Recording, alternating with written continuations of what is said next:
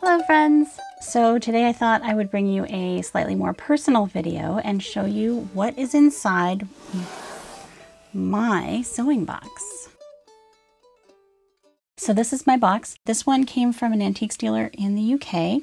I love old sewing boxes. I have a collection of them which I will be walking you through in another video here coming up pretty soon. But today I thought I would focus just on my personal sewing box collecting boxes, looking at boxes, when this shape, they call it a sarcophagus shape, comes up, I always get really excited just because it is different. It's from a pretty specific time in history, around about the 1820s. You can find them up to as late as the 1830s, down into the 18 teens, but for the most part, they're going to be from about 1820 to 1829.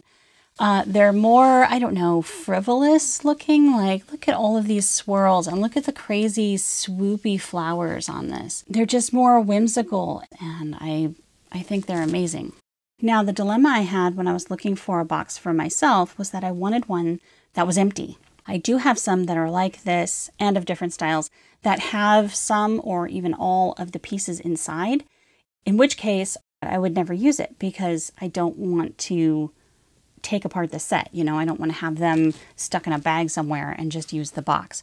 So when they come with things, they're either, you know, beautifully stocked or they have an obviously, um, I don't know, that, that person is still very present in the box. Like there's one I have that has a note that's written inside the, the lid. And, and so that lady, um, and I have, uh, I don't know, I'm getting, getting lost on a tangent here because all this stuff will be in the sewing box collection video. But, you know, this one box has a note.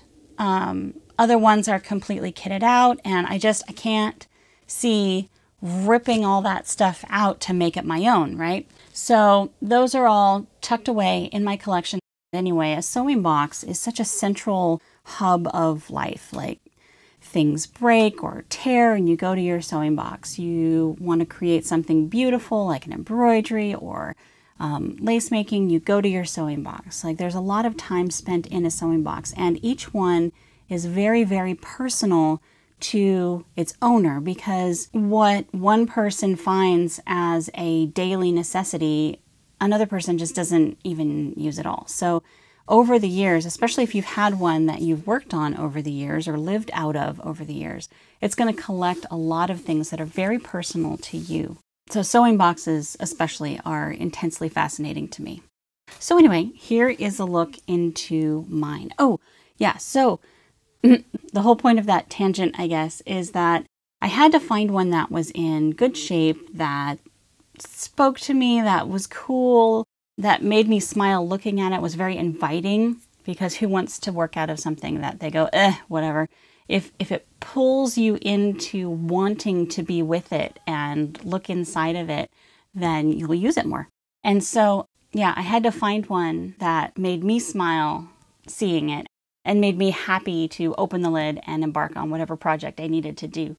Yet find one that was empty inside, but not trashed inside, if that makes sense. So I wanted to have, uh, to not have a tray, to not have, um, you know, the original fabric lining so that I didn't feel bad about tearing it out in order to make what I wanted it to be to suit my purposes. I needed to find one that fit some of my things that I didn't want to brush over. And I'll get to those when I show you the inside of it. I'll, I'll talk about the things inside that needed kind of a custom arrangement. And so I found this one that was pretty much empty on the inside. It had a little bit of the metallic paper, but other than that, it had already been pulled and torn off. It was just kind of empty inside. So let's open it up and I'll walk you through the inside. I love it. I've had it for a really long time and I still love opening it. It's, it's, anyway. The first thing that you might see is that the tray is not wood, it's paper or cardboard covered in paper. My problem is that I had very specific things that I needed to fit into the tray. And my husband's a finished carpenter, general contractor, and when I get this figured out exactly how I want it, which I think it is, Um, he's going to make me one out of wood. However, I don't really need one out of wood. The paper one, the cardboard paper is working just fine. And I like the color. And so we're just going to kind of leave it like this until it starts to fall apart. I don't know, until I decide that I just really need it to be made out of wood. So there are some things that I needed this tray to be specifically deep for. And one is my egg cup pincushion, which meant that this tray needed to be about two inches deep, which you're not going to find in the trays that came with the original sewing boxes. I've never seen one that was two inches deep. The other things I needed was a large chamber for this cup. So this cup I use for scraps.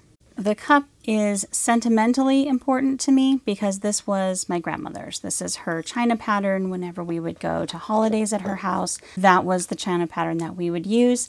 And this is a very chipped, I don't know if you can see the chips on here, but it's very chipped. You wouldn't drink out of it. So I use it in my sewing box. And whenever I open the lid, I get to see a remembrance of my grandmother. Um, and so I keep just scraps there holding them down, I have this tin, which I've had since I was a little kid. I love Cicely Mary Barker's uh, Flower Fairies. Zinnias are one of my favorites. I also have, I don't know, I have a whole collection of these little tins, but this one is one of my favorites. And inside, I have safety pins and miniature clothespins, snaps, all that kind of stuff.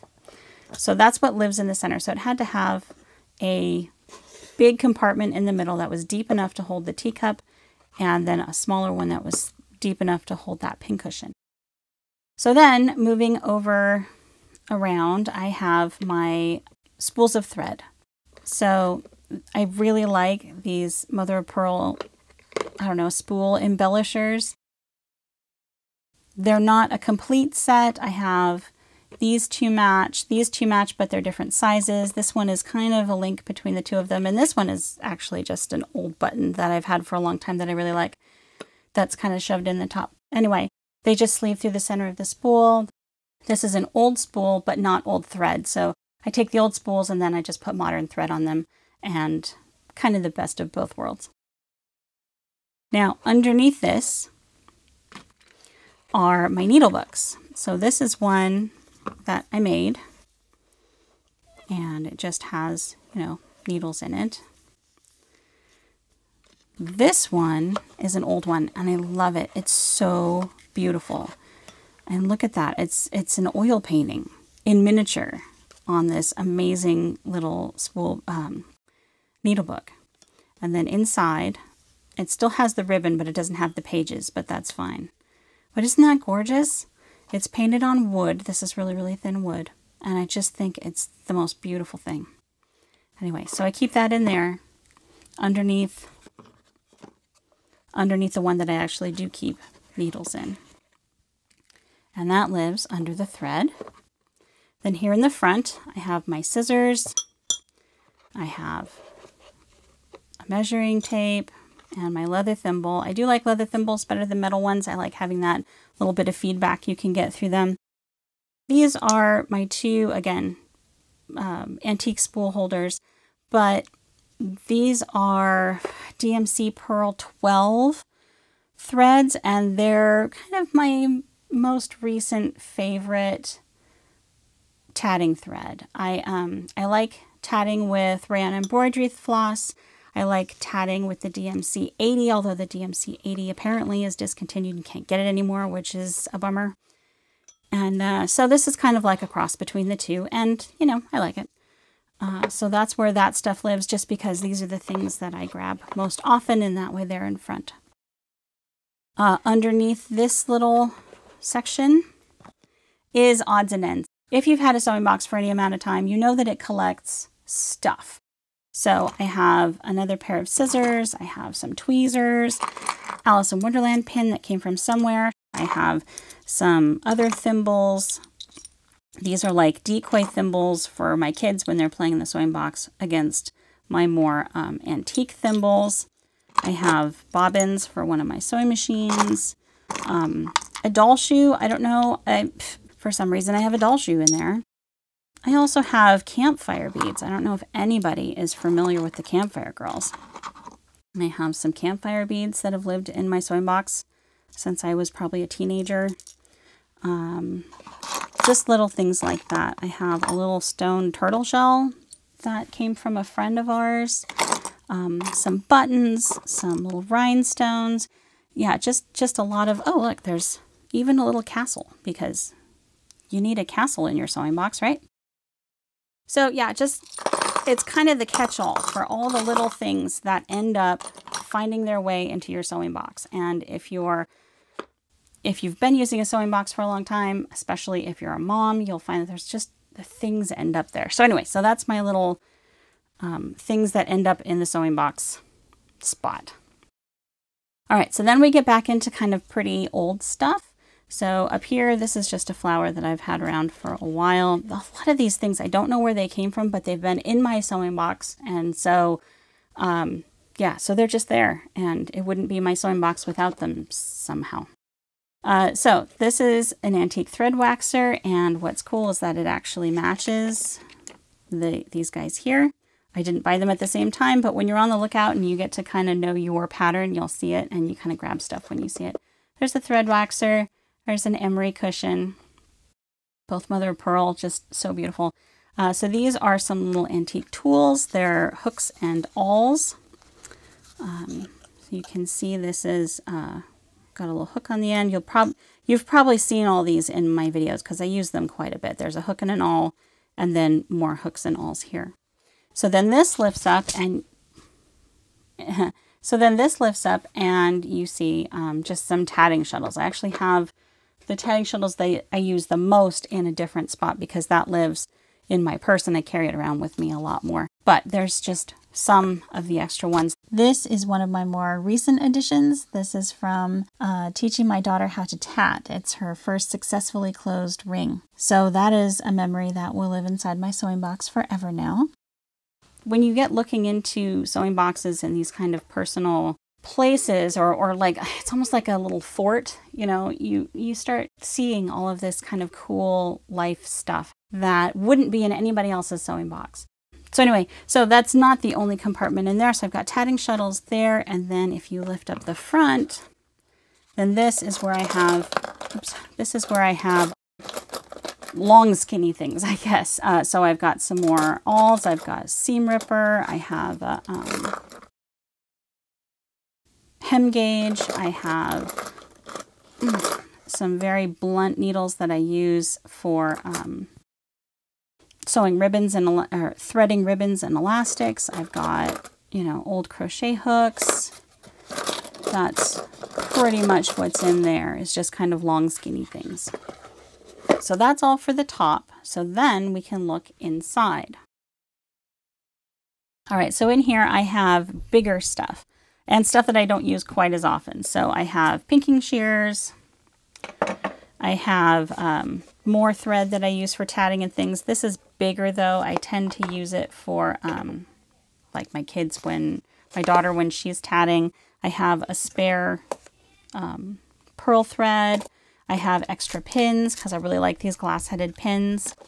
Um, I have some spools of Gutermann thread. This is where I keep my needles. So I have some in my pincushion that I work from. I have some from my needle book that I draw from, and then I fill my needle book with these here. Another measuring gauge, and then just like more crochet hooks. Lots and lots of crochet hooks. Um, a pen. This is a this is a one micron pen. I like these. They're archival. It's kind of a shadowy brown color, so I use this for marking fabrics a lot. It makes a very small, very precise marking that is permanent. I think it works great. And then I have a lighter for um, burn tests and melting the edge of ribbons. So that is the bottom of my sewing box. That's what I keep in my sewing box. Thank you for joining me on my little tour of my sewing box. And now I'd love to hear what you keep in your sewing box. What what kind of funny little odds and ends do you have that are probably very specific to you or nostalgic or something that's in your sewing box? You could also take a picture of it and link me on Instagram. I'll be watching there too. But um, yeah, I, I love sewing boxes and nostalgic story. I mean, that's why I'm a historian, I guess. It's I love the human experience. I love I love sharing people's nostalgia and sentimentality and I just think that that adds so much richness to life. So, yeah. I'll be looking out for your comments below. And thank you for joining me. I'll see you next time. Bye.